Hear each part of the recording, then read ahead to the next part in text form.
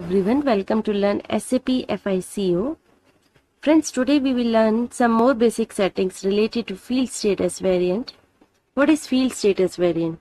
Field status variant is used to define the fields which we are used for input like cost center profit center plant etc which are the optional fields which are the suppress and required fields we can define in field status variant Field status variant will have the fields status groups. Field status group is maintained to GL accounts and it defines the field while postings to the GL. These are the steps to define the field status variant and to assign the field status variant. T code is OBC4 for define the field status variant and OBC5 for assign the field status variant. Now friends, we will do practical on SAP. Write the T code SPRO. We will go through a path and enter. Click on SAP reference IMG. Click on financial accounting new.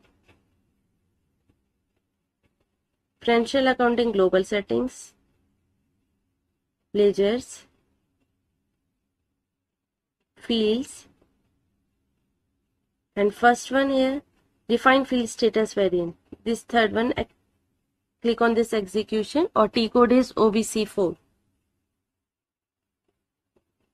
here we will click on this position and select the T code triple zero one. It is a standard T code by SAP system.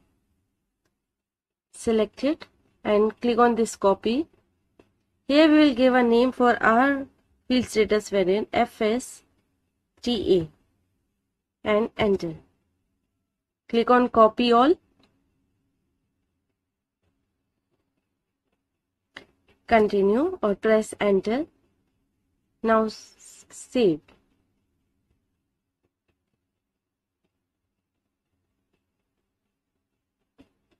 Continue. Here we will select your variant and double click on field status group.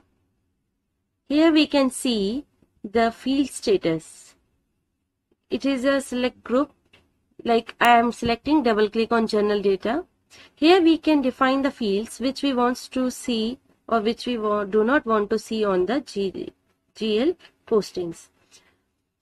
Assignment number if I want to suppress. Suppress means it will hide the assignment number from the GL fields. And text I want is required. Text field I want required. And invoice references I want optional. Like this we can define our fields for a GL postings. Select it. Click on save. Now data was saved. Get back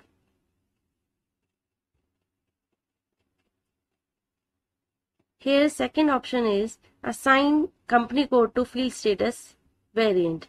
T code is OBC5.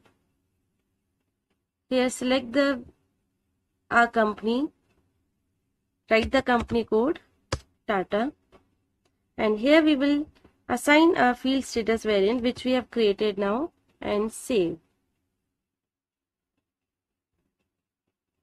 Like this friend, you can create your field status variant and assign your field status variant. If you like the video, please subscribe our channel and share with your friends. Thank you. Have a nice